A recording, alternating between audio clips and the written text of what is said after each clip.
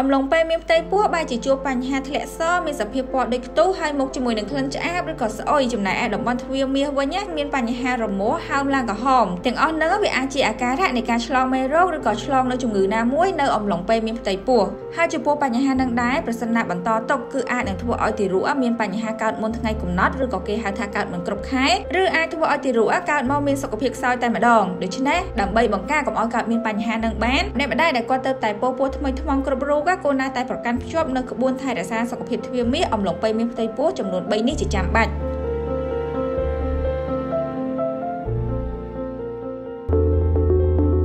អាត្រូហ្វីហ្វូមជាពពុះអនាម័យស្ត្រីប្រកបដោយភាពទន់ល្មើយគ្រប់កលៈទេសៈ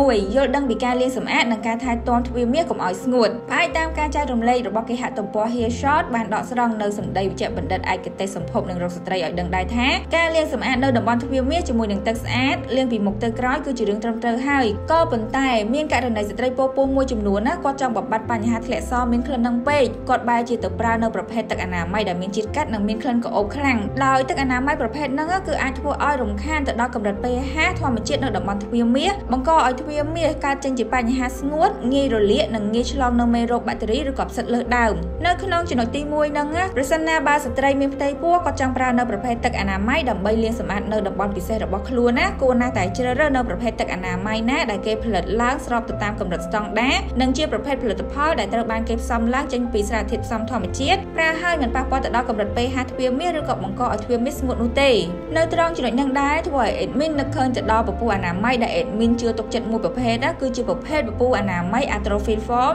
ដែលជាពពុះអនាម័យរបស់ប្រទេសអ៊ីតាលីផ្ទាល់តែម្ដងនិងជាផលិតផលដែលត្រូវបានគេផលិតឡើងស្របទៅតាមស្តង់ដារមានផ្ទុកនូវសារជាតិចិញ្ចឹមធម្មជាតិដែលត្រូវបានគេចម្រាញ់ចេញពីស្រូវសាលីវីតាមីន B អាស៊ីតឡាក់ទិកនិង chlorhexidine ដោយសារធាតុទាំងអស់នេះមានមុខងារល្អមែនទែននៅក្នុងការចូលទៅជួយកម្ចាត់នៅមេរោគបាក់តេរីនៅខាងក្រៅទ្វារមាសបានយ៉ាងស្អាតស្ទើរតែ100%ឯណោះហើយមិនតែប៉ុណ្ណោះនោះទេប្រភេទពពុះអនាម័យ Atrophin Form មួយមុខនេះហាក៏មានសមត្ថភាពនៅក្នុងការចូលទៅជួយរក្សានៅកម្រិត pH ទ្វារមាសស្ត្រីឲ្យមានតុល្យភាពផ្ដល់សំណើមទ្វារមាសដោះស្រាយនៅបញ្ហាទ្វារមាសស្ងួតរមាស់និងកាត់បន្ថយនៅបញ្ហាធ្លាក់សមានក្លិនមិនល្អនិងធ្វើឲ្យអារម្មណ៍ស្ត្រីដែលគាត់បានប្រើនៅប្រភេទពពុះអនាម័យ Atrophin Form នេះហាមានអារម្មណ៍ថាស្រស់ស្រាយជាមួយនឹងក្លិនខ្លួនឯងឡើងវិញចូលទៅដល់ផ្នែកទី2របស់យើងវិញក៏ចាំបាច់ផងដែរសម្រាប់ស្ត្រីមានផ្ទៃពោះគ្រប់រូបគួរតែជ្រើសរើសនៅវិធីកាត់ឬក៏កោររោមនៅតំបន់ទ្វារមាសការកាត់ឬក៏កោររោមនៅតំបន់ទ្វារមាសទៅតាមទិសដៅដែលដុះគឺអាចជួយទប់ស្កាត់នៅការកើនឡើងនៅមេរោគបាក់តេរីឬក៏មេរោគផ្សិតនៅតំបន់ទ្វារមាសបានយ៉ាងល្អ